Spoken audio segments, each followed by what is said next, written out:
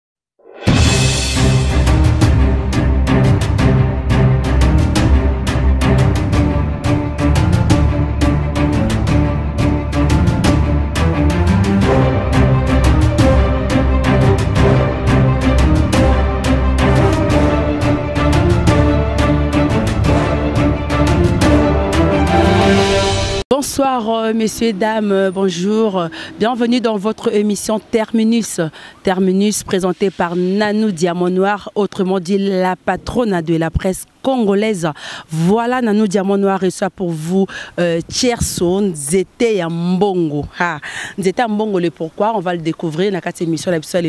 Donc euh, aujourd'hui dans Terminus, on va essayer au fait de parler sur le comportement de Congolais en Europe. Le comportement, quand on parle de comportement, notre façon de s'intégrer les Congolais ne veulent pas s'intégrer.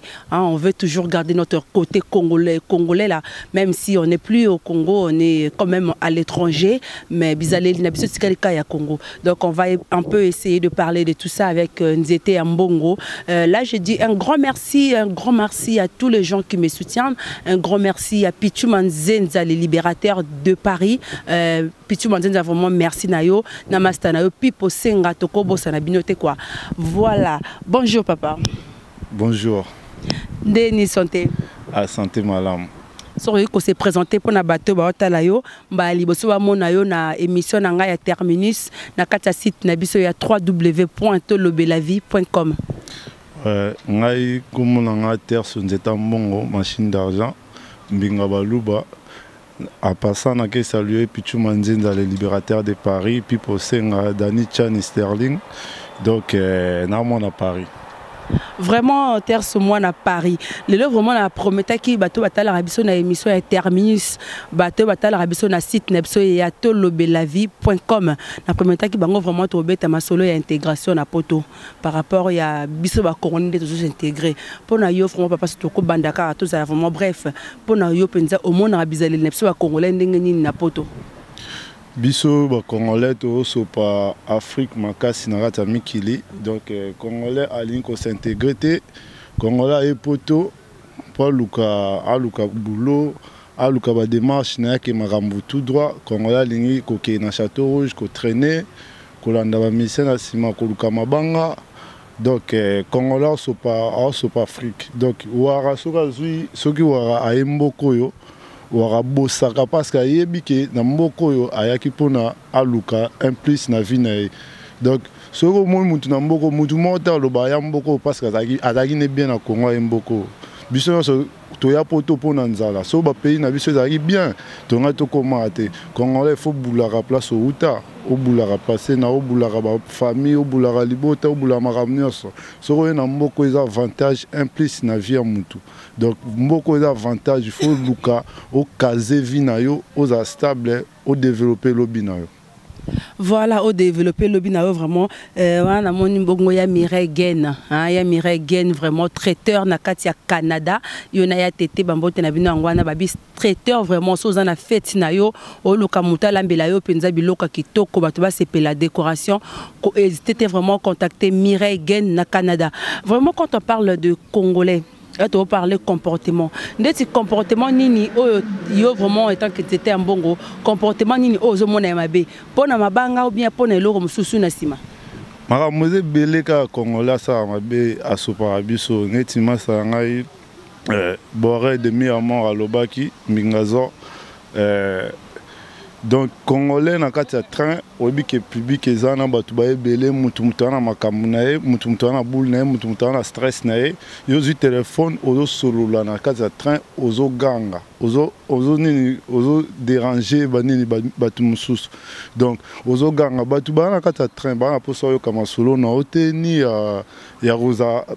bapreta attention na yo donc bamakambo wana nyonso bamakambo ya mike mike kaka eza ya kochange na bacongolais soki mpenza batyaki nga mpenza natya bacongolais makambo wana nachange bango natya bango molongo parce que congolais ayokaka na fimbu natye bango molongo moko na moko azozwa fimbu fimbu fimbu fimbu trésor ikulu oyoki makambo nayebisaki yo soki molongo tokotya bato molongo mpenza moko azozwa fimbu fimbu fimbu mpo abayoka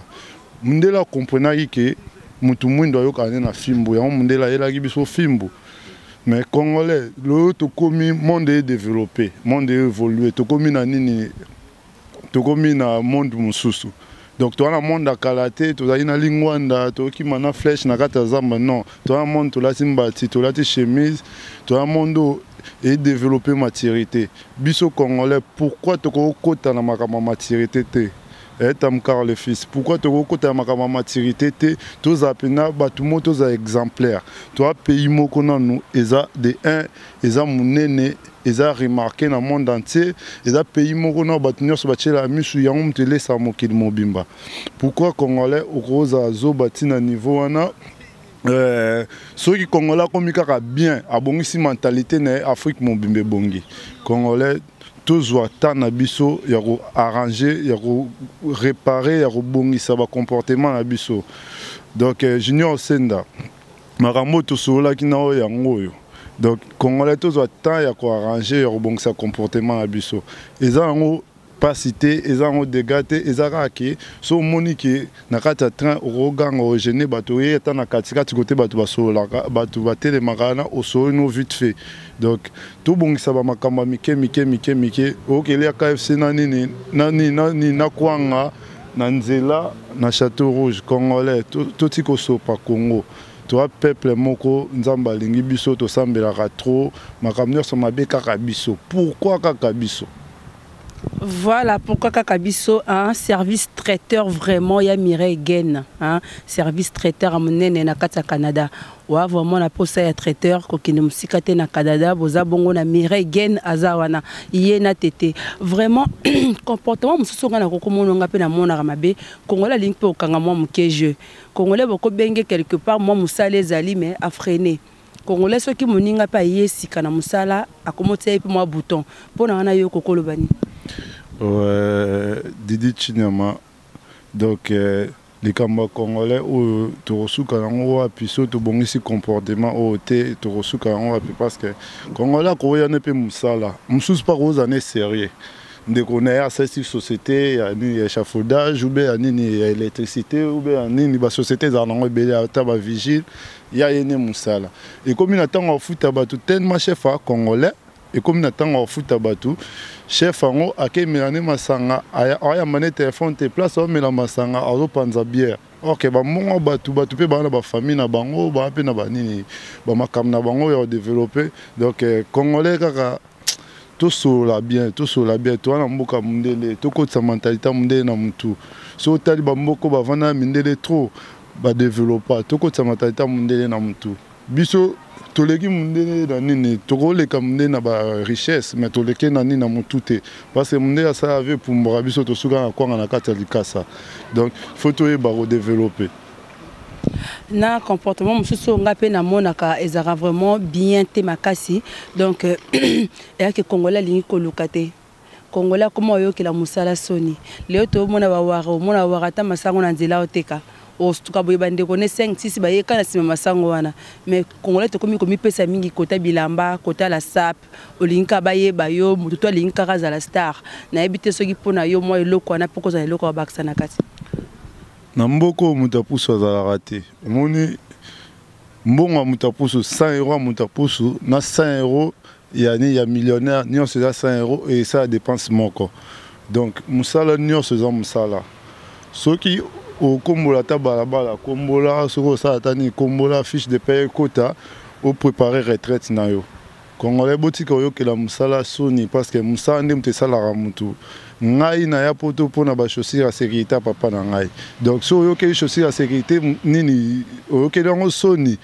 obengisa bato te okodevelope te otonga te baimmeuble etongama mpo na bachaussure ya sécurité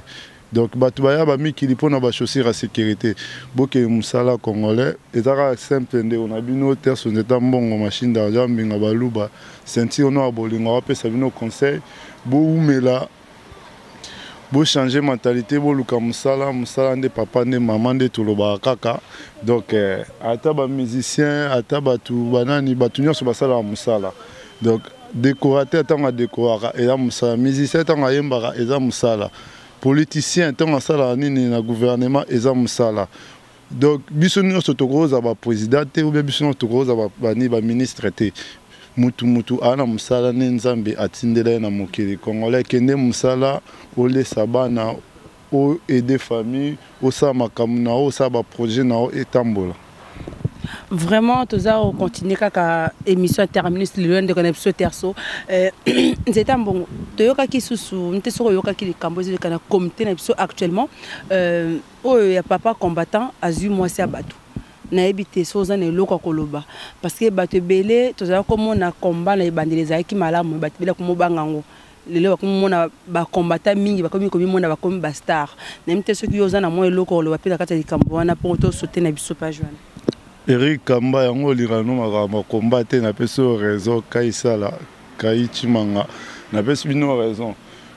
Combat, combat ekomi lokola agenda moko boye aso ah, tobimi bato basali marche na azwa momi non tozobundela nini développement mboka nga akombata te naa mpe nini apolitique naa kaka congolais oyo nalingi ke mboka na nga ezala bien lobi bato bamelaka ti donc euh, lobi bato bamelaka ti bana bakendaka classe euh, bamisala ezala ngai alingi ka développement mboka mais komba eza nini eza nini te eza moyen te mpo na kobotola bato babasi vraiment napesi mbote na nga epai ya jean, eh, jean paul eh, jean paul vraiment na kati ya orléans wana bambote na yo yango wana jean paul pourquoi pas chikose ngotima autrement dit patrick basomele hein, chikose ngotima vraiment moninga ya le jeune millionnaire ya yo yango wana yo na jean paul mikulu na orléans papa terson ozocontinue maloba na yo mpo na makambo ozala koloba ouais, combat Combat kabila longwa to azala biso nyonso toa na posa kaka mboka nde ezala bien bakotya ku motu mosusu akozala mpe pire kabila akozala mpe anyokoli biso makasi donc kabila longwa to azala toa na posa mboka ezala bien kabila bato mpe akopesa akopesa bourgmestre mbongo kebongisa banzela bourgmestre alia yango na famille na ye donc so biso nionso mentalité na biso echange te bakotya ata yesu na gouvernement mboka wana ekobonga nango kaka te bakotya ata yesu na gouvernement mboka ekobonga nango kaka te donc euh, combattant komba eza ke tobundela mboka tobundela nini nini peuple peuple ekende liboso c'est-à-dire peuple bazwa bazwa nini ba retrouver valeur ya na bango peuple azala na mosala azala na nini mais biso moko mpe kaka na mboka yango soki eh, soki bapesi yo mosala mbula ebeti oyano mpe mosala te donc toa makambo ebele ya koarrange ava towela makambo mosusu donc bapesi yo mosala oyano mpe mosala te yo mpe kala mboka wana congo wana Kaka mboka na Congo eh, Patrick Cheke Sopa Tolo tosoya makambo kaka mboka na Congo bakopesa yo oza nini oa nini architecte bapesi yo mbongo construire nga ndako okimi no bakoma yo kuna bamomi kuna okomopanza baboki okomosala nini tobongisa na mentalité na biso de un na combat awa ah, bokoma ozwa basi ya bato bokomi te totika makambo wana tosalela bit na biso eza nini cible na biso eza nini makambo na biso eza nini nga naza combattant te mais naza naza pe na mpe nini kolabo te me naa nde motu naa katikati naa congolais naa posa eloko econcerne mboka naa posa mboka ezala bien tobongisa mentalité bokomi ozwa basi na komba bokomi ozwa basi ya bato bokomi okosa bato oyo wana motu na ngai soki azwi pouvoir na ozwa nini okomi obotola basi ya bato te kombe eza makambo ya basi te en plus bato oyo bosala bongo mingi mpe bowuta bamusicien kaka oyo boboya babeta bango moto bamema bino mikili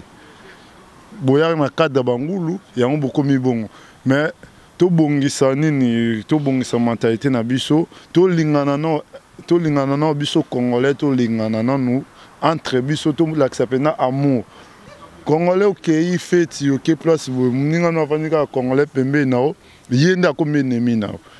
atelemi aza na mwasi na ye yo otelemi na nsima osenga mwasi nde nimero wana comportement nini congolais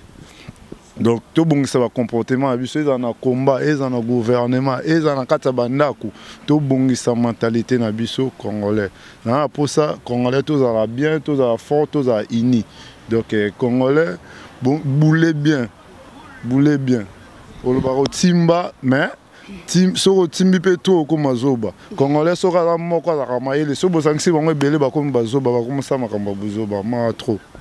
Vraiment, Pichul Fouba, le jeune millionnaire euh, Pichul Fouba, exemple ya bana lemba, euh, l'honorable Pichul Fouba, ayo yango wana esikozwami. Merci bongo na Charlie Mwamba na sima ya bilili babi mwana mama Cathy euh, Charlie Mwamba. Vraiment Terso, toujours continuer kaka na kati ya émission na biso. Euh,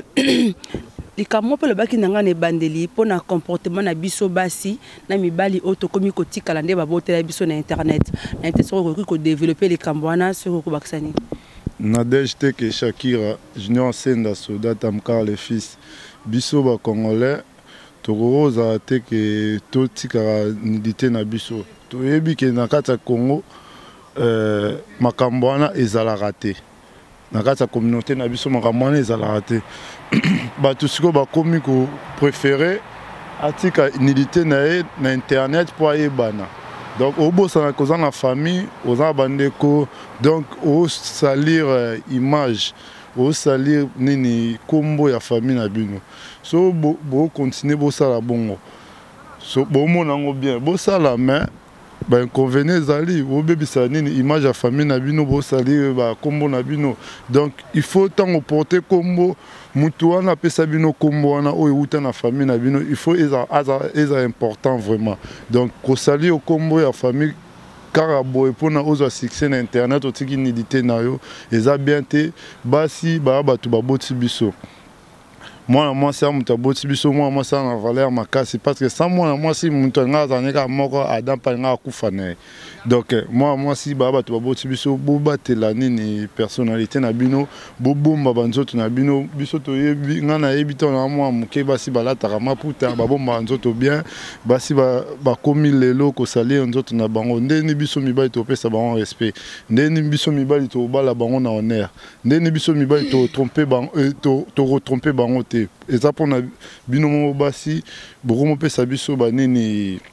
boko mopesa biso ba ba raison ya retromper bino ya kosakana na bino ya kobotisa bino kosala boye donc basi il faut bobatela nzoto na bino bobatela personnalité na bino mpe respect na bino basi boya bamama na biso bino moto bobota baprésident lobi donc kote wana mpenza bokoka bobongisa makambo wana mpenza prochainement esalamaka te donc eza eza conseil nzeta mbongo apesi bino oyo eza na matoi ayoka ayoki oyo mpe na matoi ayoka te etali ye donc euh, voilà voilà vraiment tokomi na biso kochite tokomi vraiment kokela suka ya émission na biso wana napesi mbote epai ya joel ben ya joel ben vraiment Serre na nga vraiment Joël Ben na kati ya Paris ayo yango wana moninga ya Chantal Matomina balobi vrai chérie vraiment tokomi na biso kochite na terminus nayebi te soki oza na mwa liloba ya kobakisa mpo to conclure lelo nayebi ke tokokutana na biso mbala nsima ouais, nayebi kaka naloba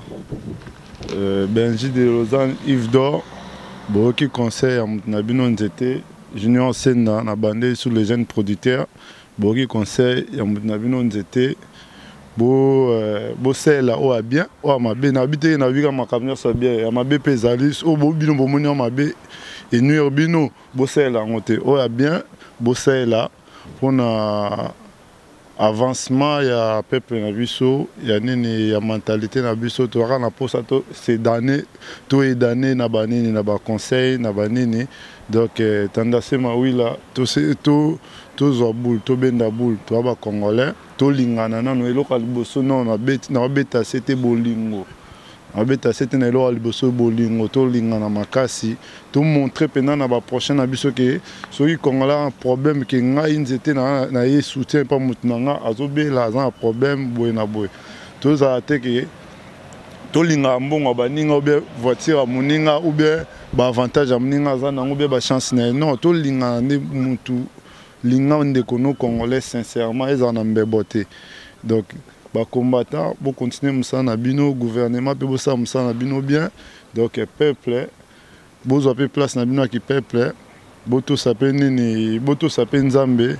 Na makambo oyo nionso tosololi, eloko ya liboso tomipesa nanu epa Nzambe. 24 heures, journee ezwaka 24 heures, tozwa ata 5 minutes ya prière pona ko remercier Nzambe, ako aider biso pona tozala bien quoi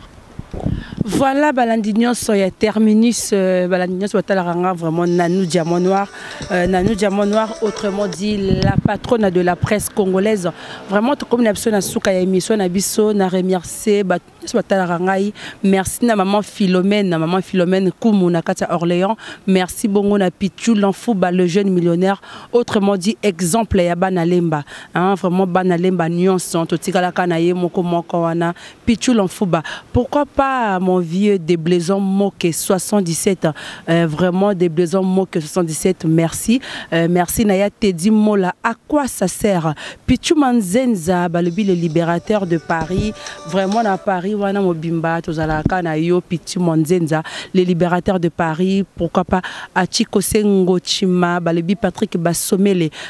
Euh, vraiment merci na le champagnard mpe posenga ya yo yango wana merci na baoyo botalaka biso na kati ya tolobelavie point com balobi tolobelavie point com vraiment ezali site na bino totalaka yango mpenza mpo esala vraiment bien merci bongo na terso nzete ya mbongo na ndenge obengaki biso